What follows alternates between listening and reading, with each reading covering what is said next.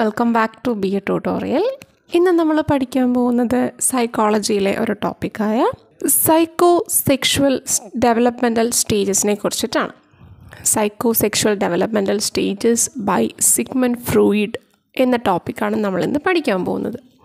അപ്പോൾ ഇത് നമ്മൾ ഓൾറെഡി നമ്മൾ ജസ്റ്റ് ഒക്കെ ഒന്ന് നോക്കിയിട്ടുള്ളതാണ്. എന്നാലും അറിഞ്ഞുകൂടാത്തവർക്ക് വേണ്ടിയിട്ട് ഒരു മോക്ക് ടെസ്റ്റിന്റെ ഇടയിൽ നമ്മൾ പറഞ്ഞതായത് കൊണ്ട് തന്നെ ജസ്റ്റ് നിങ്ങളെ പെട്ടെന്നെങ്കിലും ഒന്ന് സെർച്ച് ചെയ്യുമ്പോഴത്തേക്ക് കിട്ടാൻ വേണ്ടിയിട്ട് ഒരു അവൈലബിലിറ്റി പെട്ടെന്ന് നമുക്ക് കിട്ടാൻ വേണ്ടിയിട്ട് ഞാനൊന്ന് ചെയ്യുന്നതേ ഉള്ളൂ.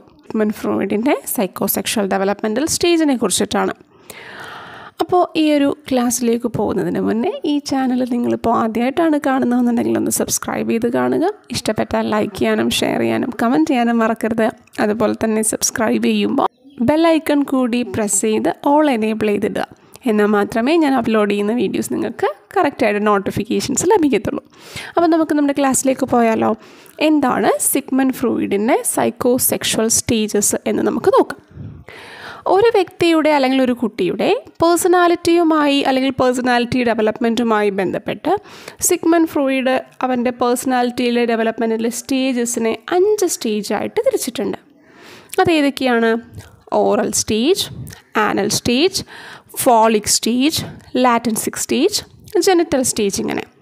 ഒന്നുകൂടി ഏതൊക്കെയാണ് oral anal phallic latency genital എന്നിങ്ങനെയുള്ള നാല് അഞ്ച് സ്റ്റേജുകളായിട്ടാണ് സിഗ്മൻ ഫ്രോയിഡ് തന്റെ സൈക്കോ സെക്ഷുവൽ ഡെവലപ്മെന്റൽ സ്റ്റേജസിനെ തിരിച്ചിരിക്കുന്നത്. അപ്പോൾ ഇത് ഒരുപാട് ചോദ്യങ്ങളിൽ കണ്ടുവന്നിട്ടുള്ളതാണ് ഇതിന്റെ ഏജ് ലിമിറ്റ് എത്രയാണെന്നൊക്കെ ഓരോ സ്റ്റേജിലെയും ഏജുകൾ ഓരോ സ്റ്റേജിലെയും സ്പെഷ്യാലിറ്റീസ് അതൊക്കെ. അപ്പോൾ നമുക്ക് ഓരോന്നോരോന്നായിട്ട് നോക്കാം. ആദ്യം നമ്മൾ പറയാൻ പോകുന്നത് ഓറൽ സ്റ്റേജിനെ കുറിച്ചിട്ടാണ്. ഓറൽ സ്റ്റേജ് എന്ന് പറയുന്നത് കുട്ടി ജനിച്ച് ഒരു വയസ്സ് പൂർത്തിയാകുന്നത് വരെയുള്ള സമയം. ആ സമയത്ത് കുട്ടിയിൽ എന്ത് ഡെവലപ്മെന്റാണ് ഉണ്ടാകുന്നത്? ആ സ്റ്റേജിൽ കുട്ടിയിൽ ഉണ്ടാകുന്നതാണ് children derive pleasure from the oral activities in including sucking and tasting they like to put being things into mouth ഇവിടെ എന്താ പറയുന്നത്?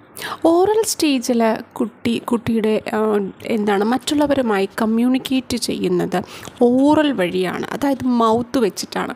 അതായത് നമുക്കറിയാം കുട്ടി വിശക്കുമ്പോഴായാലും അതുപോലെ തന്നെ വിശക്കുമ്പോൾ നമ്മൾ എങ്ങനെയാണ് അറിയിക്കുന്നത്? കരഞ്ഞിട്ടാണല്ലേ? അല്ലെങ്കിൽ എന്തെങ്കിലും ഒരു അസ്വസ്ഥത ഉണ്ടാകുമ്പോഴൊക്കെ അത് കരഞ്ഞിട്ടാണ് അറിയിക്കാറ്.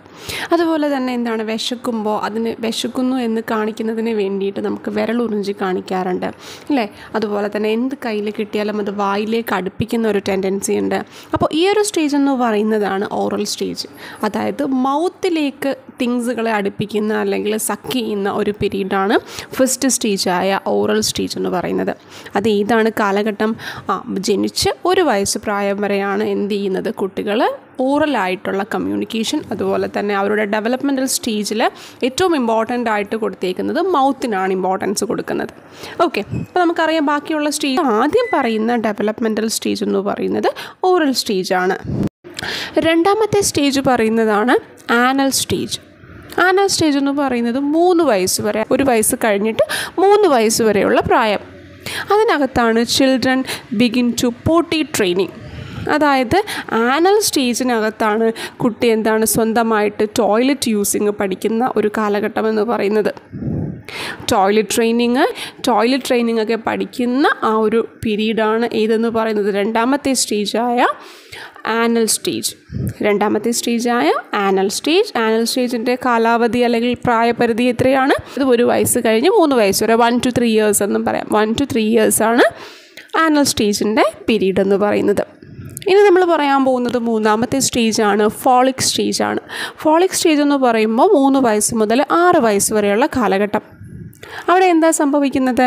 Boys are more attached to their mother and while girls are more attached to their father അതായത് ഈ ഒരു കാലഘട്ടത്തിൽ ഉണ്ടാകുന്ന പ്രധാനപ്പെട്ട ഇൻസിഡന്റ് ആണ് ഇഡിപ്ല ഇഡിപ്പസ് കോംപ്ലക്സ് എന്നും ഇലക്ട്ര കോംപ്ലക്സ് എന്നും അറിയപ്പെടുന്ന രണ്ട് കാര്യങ്ങൾ സംഭവിക്കുന്ന ഒരു സ്റ്റേജ് എന്ന് പറയുന്നത് ഫോളിക് സ്റ്റേജിലാണ് കുട്ടികളുടെ പേഴ്സണാലിറ്റിയുമായി ബന്ധപ്പെട്ട് അല്ലെങ്കിൽ ഡെവലപ്മെന്റൽ സ്റ്റേജുമായിട്ട് ബന്ധപ്പെട്ട് ഇഡിപ്പസ് കോംപ്ലക്സ് എന്നും ഇലക്ട്ര കോംപ്ലക്സ് എന്നും അറിയപ്പെടുന്ന കാര്യങ്ങൾ സംഭവിക്കുന്നത് ഏത് സ്റ്റേജിലാണ് ഫോളിക് സ്റ്റേജിലാണ് ത്രീ ടു സിക്സ് ഇയേഴ്സിലാണ് ഇനി എന്താ ഇഡിപ്പസ് കോംപ്ലക്സ് എന്താ ഇലക്ട്ര കോംപ്ലക്സ് എന്ന് നമുക്ക് നോക്കാം. എന്താ ഇഡിപ്പസ് കോംപ്ലക്സ് എന്ന് നോക്കിക്കേ. നമുക്കറിയാം സാധാരണ ആൺകുട്ടികൾക്ക് ഏറ്റവും കൂടുതലൊരു അറ്റാച്ച്മെന്റ് അമ്മയോടാണ് ഇല്ലേ? ആൺകുട്ടികൾക്ക് അമ്മയോടും അതുപോലെ തന്നെ പെൺകുട്ടികൾക്ക് അച്ഛനോടുമാണ് ഒരു പ്രത്യേകമായിട്ടുള്ള ഒരു അറ്റാച്ച്മെന്റ് ഉണ്ടാകുന്നത്. അപ്പോൾ ഇവരുടെ ആ ഒരു അഫെക്ഷൻ ആ ഒരു എന്താണ് ഒരു ബോണ്ടിനെ പറയുന്ന പേരാണ് ഇഡിപ്പസ് ആൻഡ് ഇലക്ട്ര കോംപ്ലക്സ് എന്നുള്ളത്. അത് ഇതാ ക്രമം എങ്ങനെയാണെന്ന് നോക്കാം.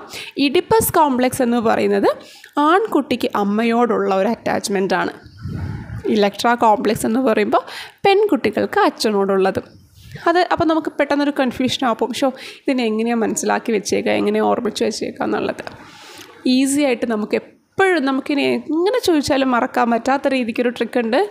നമുക്കറിയാം ആൺകുട്ടികൾക്കാണ് സാധാരണ ഇച്ചിരി ഇടിയും ബഹളവും വഴക്കും ഒക്കെ ഉള്ളത് ഇല്ലേ? അതായത് ഒരു ഇടി കൂടുന്ന ഒരു പ്രകൃതമൊക്കെ ഉള്ളത് ആർക്കാണ്? ആൺകുട്ടികൾക്കാണ്. അപ്പോൾ ആൺകുട്ടികൾക്ക് അമ്മയോടുള്ള സ്നേഹം അതെന്താണ്? അത് ഇഡിപ്പസ് കോംപ്ലക്സ് ആണ്. ഇലക്ട്ര കോംപ്ലക്സ് എന്ന് പറയുമ്പോൾ പെൺകുട്ടികൾക്ക് അച്ഛനോടുള്ള സ്നേഹം. അപ്പോൾ ഇനി ഇത് നമ്മൾ ഒരിക്കലും മറക്കില്ല. ഇടി ഇടി എന്ന് പറയുന്നത് ആൺകുട്ടിയിൽ നമുക്ക് കൊടുക്കുന്നു. ഇഡിപ്പസ് കോംപ്ലക്സ് എന്ന് പറയുമ്പോൾ ആൺകുട്ടികൾക്ക് അമ്മയോടുള്ള സ്നേഹം. ഒക്കെയാണല്ലോ അപ്പോൾ അത് ഇമ്പോർട്ടന്റ് ആണ്. ഒരുപാട് ചോദ്യങ്ങളിൽ ചോദിച്ച് കണ്ടിട്ടുണ്ട് ഇഡിപ്പസ് കോംപ്ലക്സും ഇലക്ട്ര കോംപ്ലക്സും. അത് ഫോളിക് സ്റ്റേജിലാണ്.